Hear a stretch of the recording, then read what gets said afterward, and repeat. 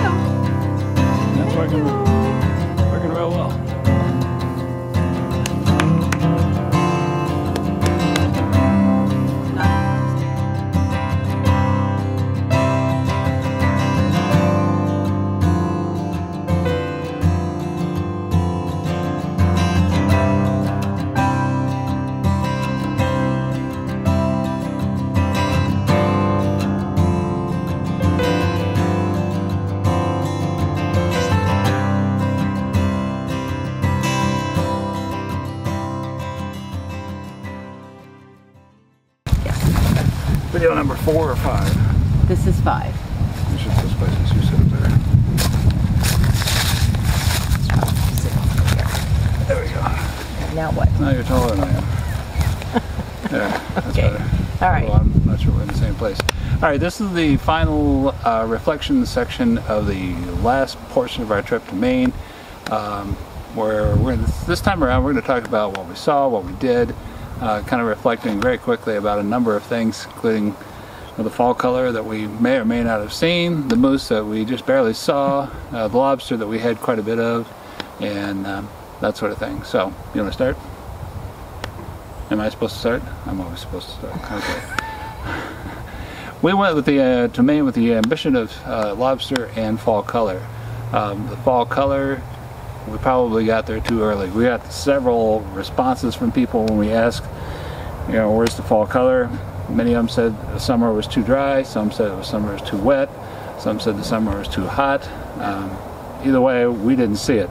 Uh, it was only, as you'll see in this video, as you saw in this video, it wasn't until we got back to Vermont and the New Hampshire area that we started to see really good fall color, even though we covered a great deal of Maine trying to find it. But we found a lot of neat things in, anyway, and uh, we're not disappointed with any part of the trip whatsoever. Your turn. The fall color that he talked about in Vermont and uh, some in New Hampshire, uh, that's the real deal. And that's what you, we hope you saw in this video. It was uh, very impressive, and we certainly see why a lot of people make that a destination. Um, we also got to enjoy maple. Uh, we went to a couple places that celebrated maple syrup making, uh, the whole process, which is pretty impressive. And uh, this is a part of country where you can get get the very best uh, that there is available. So we did that too. And the moose. And the moose. And we found two mooses and uh, just across the border into New Hampshire after we left Maine within 10 minutes we saw moose. Uh, after not seeing a single moose in Maine we decided there are no mooses in Maine. So if you're looking for moose headed out to the northeast don't go bother going to Maine because there aren't any. But So New you go. Hampshire. But New Hampshire has They're taken them. all of Maine's moose and moved them into New Hampshire. And they put them on display right by the side By of the highway, in the rain. highway, in, the rain. You notice it was raining.